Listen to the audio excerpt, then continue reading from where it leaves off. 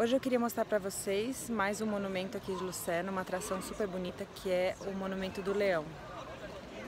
Esse monumento é de 1820 e é em homenagem aos soldados uh, suíços, mais de 700 soldados, na verdade quase mil, que foram uh, mortos durante a Revolução Francesa. Eles estavam uh, servindo de apoio ao rei Ludovic XVI durante a Revolução e foram massacrados.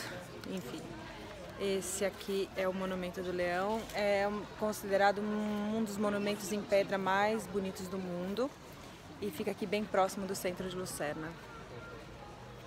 É realmente lindo, vale a pena a visita.